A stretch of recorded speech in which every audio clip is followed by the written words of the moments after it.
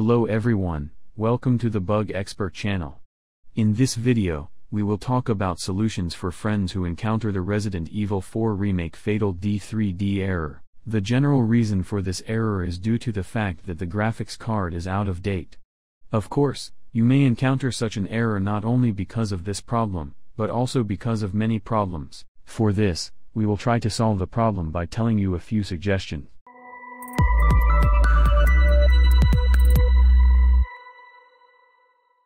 The fact that the graphics card is not up to date causes you to encounter various errors like this. For this we will need to check if the graphics card is up to date. You can download the graphics driver by accessing the appropriate link for your graphics card in the article. Once the download is complete, access the app and verify if a new update is available. If a new update is available, download it and restart the computer by performing the installation process. The lack of game frameworks on your computer can create various errors in the game. Therefore, your computer must have DirectX, .NET Framework, VC Redist applications. Download and install the libraries in order by accessing the links in the article.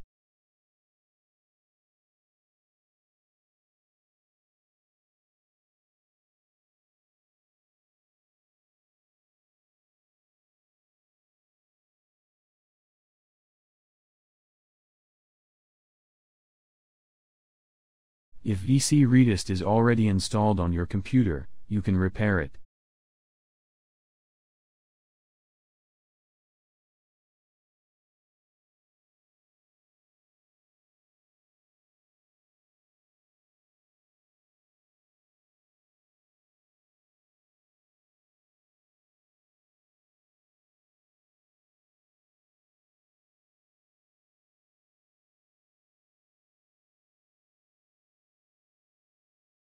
After the installation is complete, you can check by restarting the computer. You may encounter such an error because your device's system is insufficient for the game.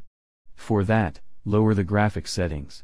Also, reach the graphic settings as I show in the picture, set the ray tracing option to off and save. Then check if the problem persists. We can eliminate the problem by using the startup options available on Steam. Access the library menu by opening the Steam application. Then right-click on the Resident Evil 4 Remake game and access the Properties menu. Edit the Launch Options option in the new window that opens with the code we left in the article and start the game.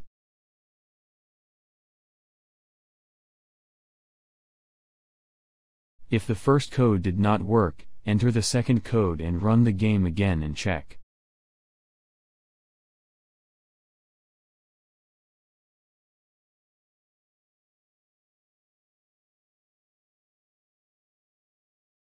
Not starting the game as an administrator can cause you to encounter various problems like this. First, access the file directory where the game is installed. Then right-click on the RE4 application and access the Properties menu. Then click on Compatibility option and enable Run this program as administrator option. Press the Apply button to save the setting and check by running the game through Steam. In such various memory errors, you can reach the solution of the problem by increasing the virtual memory. In the Start Search screen, type View Advanced System Settings and open it. Click the Settings button under Performance in the new window that opens.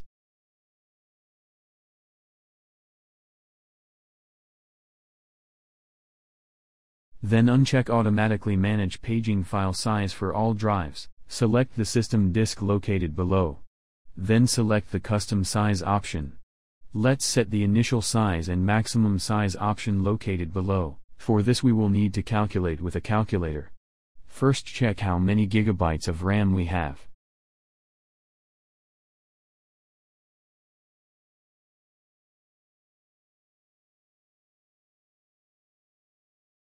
Since my RAM is 8 gigabytes, I will multiply 1024 by 8. If it were 16 gigabytes, I would multiply 16 by 1024. This value is in megabytes. Then let's multiply the megabyte value by 1.5 and write the result in the initial size option.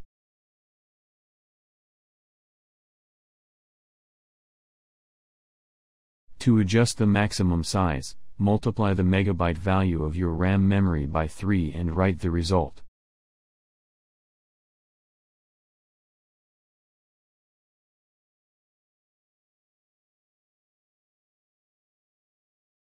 Then click the Set button to perform the addition process. After the process is complete, you can restart the computer and check if the problem persists. Yes, in this video we have provided information on how to fix Resident Evil 4 Remake Fatal D3D error.